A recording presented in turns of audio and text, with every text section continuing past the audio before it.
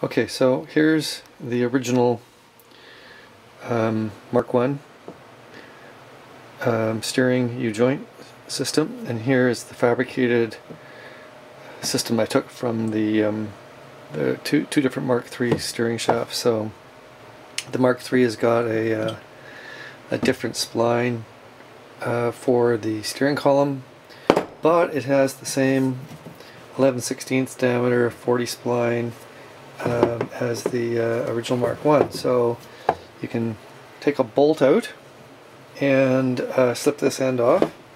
And then what I did is I just cut this. And then I just machined another groove in it. So this is adjustable now.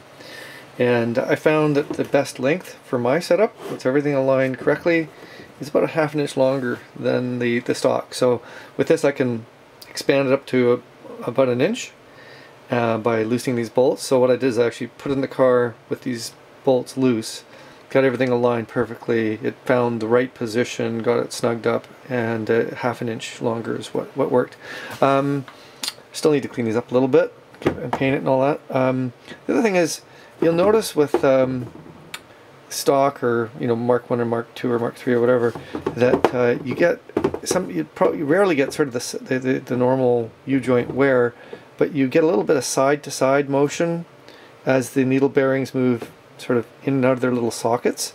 Um, and so what you can do, I know some people don't have a huge amount of success with these staying tight, but you can, I'm just using a 9 millimeter socket and uh, just pound down these and then take a punch and then reset the, um, the holding um, it dents.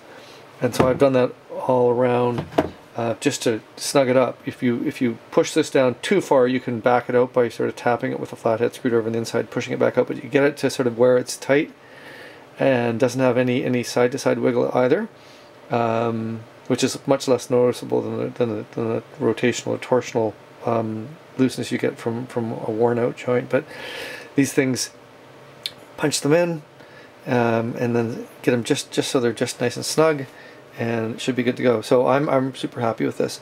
Uh, what else am I doing here? Oh yeah, I just want to show you briefly over here. Um, this is the V-clamp and it's uh, it's kind of hard to see. I should take it apart. But basically there's two two different um, shells that are you can sort of you weld around the collar here on each end and then this clamps over the two of them. So you take two um, tubes of uh, exhaust and you can tap them together. And what, I'm doing here is I'm going to use a two and a half inch pipe for the tailpipe. Um, these are 30 degree bends, two of them, and I'm going to cut them and make.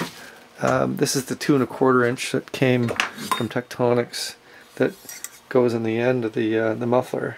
It wasn't quite right. It was these two lines should be exactly parallel and, and they're off by five degrees. So anyway this slips inside this. So this is two and a quarter inch OD and this was two and a quarter inch ID so I've now got two and a half uh, inch um, OD which is two and three eighths ID which will slip over this snug and then I can weld this on. So what I'll do is I'll make the two and a half inch tailpipe that'll fit under this. So basically the two and a quarter inch goes, slips in here, and then the outside of this slips in there. So it goes slightly larger, slightly larger as it gets to the very end of the car, which is going to be fine. So I'll be able to weld up all this uh, exhaust stuff uh, this weekend. Oh, and the last thing is I'd had to take this apart for some reason. Well, I know why now. I was damaging the uh, the Hall effect sensor, and uh, I was until I pulled this thing all apart and I found out there's plus and minuses for the power supply. And then the output is an open collector which means you need a resistor tie the resistor to high to uh, to to the 12 volts and then it'll pull down otherwise it floats. Um, so now I bought a new one and clearanced it so this is all done and it's all toleranced and set up and it's ready to roll. I can bolt it on the engine now. So that's that's good. That's it. Now what's going on here is this is the US Rabbit GTI um, servo for the brakes and it's eight and a half inches long from this face here where it mounts to the bracket to the end of this and the Mark um, 2, which uh, you need because I switched to the 22 millimeter piston master cylinder, so that wouldn't fit the original uh, servo. I've gone to the Mark II master cylinder uh, from a, 89 Cabriolet or something like that, and um, it's the Cabriolet stole Mark II parts basically from because it kept on going and overlaid. You know, the Mark One design was overlaid with the Mark II. Anyway, this is shorter and it's threaded, so you'd have an adjustable clevis pin for the brake pedal, and um, it's about an inch and a half shorter than this because it needs the clevis to be attached to it. So what I'm going to do here is I'm going to cut this off. I'm going to turn it down on the lathe and then thread it. This is just standard 10 millimeter by 1.5 millimeter thread, coarse thread. So use a coupling nut and some jam nuts and be able to have an adjustable, um, this, it's always nice to have an adjustable brake pedal.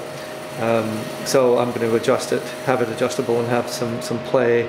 So I'll get the brake pedals, I'm getting the brake pedals all painted up this weekend and get that whole assembly all redone, mount all this stuff, measure the exact uh, distance I need, and then I'll cut this and thread this to um, to the right uh, to the right dimension, and then be able to screw it onto the end of this, and then I should be done.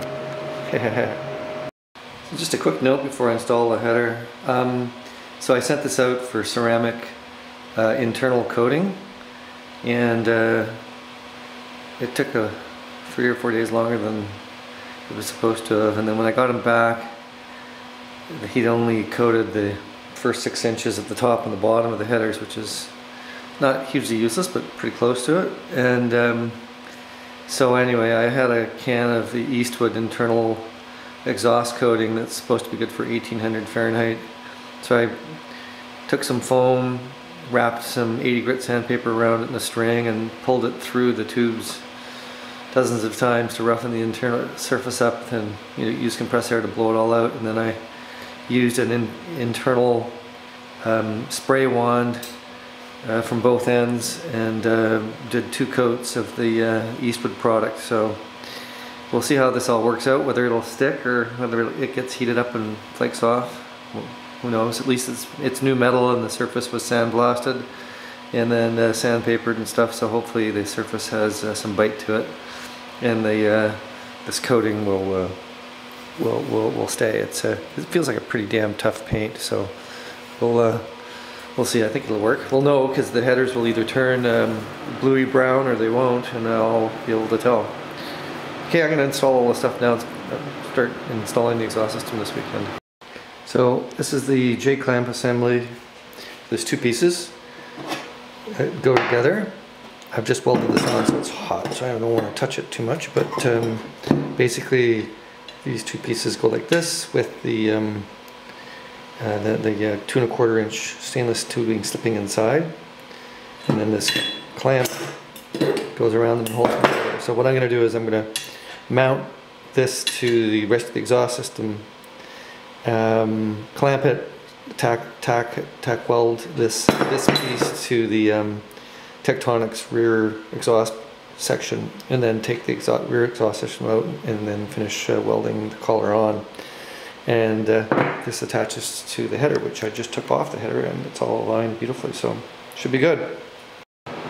So the uh, catalytic converter with the flex pipe and the V-band clamp are done. That was the last piece of the exhaust system, so it's all all fits in nicely and I can swap that in and out with the resonator as required for emissions inspections and other things like that. So these are the finished exhaust system components. I'm about to bolt them in. Just wanted to show them to you because they're a lot harder to see once they're installed.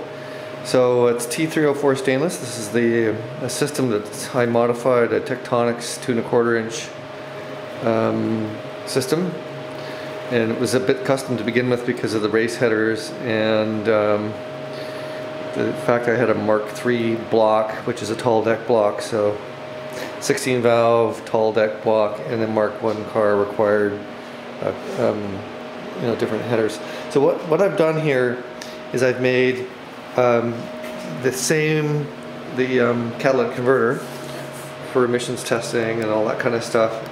It's the same length and uh, and fit up to the header as the um, the um, um, resonator here, which is what I'll normally use. So um, basically, they both have the flex, four-inch flex pipe, so that uh, it takes a little bit of stress off the exhaust system, and exhaust tubing is done with, um, when you say two and a quarter inch, it's two and a quarter inch outside diameter, OD. And then when you get to a muffler, like a Borla muffler, any, any, any normal muffler, the actual fittings on the end, this is two and a quarter inch ID so that the tube can slip into it. And so what I've done is I've um, put a two and a half inch exhaust on the back of it. And I, um, I basically cut the flange off really tight and then got to nine, uh, 30 degrees and then I've, I've, I've sort of got the, the length and everything set so that now I have my bad boy uh, two and a half inch exhaust back and I got these things sort of semi polished up.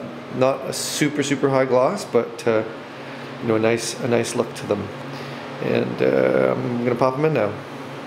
So that was my weekend. Lots of work probably about 20 hours to get that done but it fits perfectly now.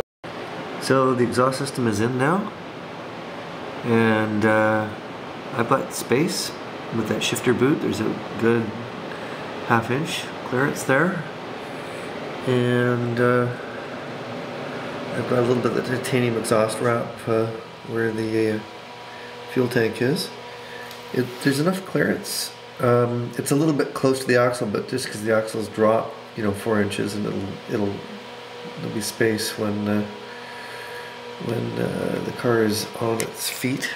Um, and here, I've got, a, I'll show you, I'll get to the back. I've got um, a beautiful view at the back here. So basically, it's nice to have that badass two and a half inch uh, stainless pipe sticking out the back.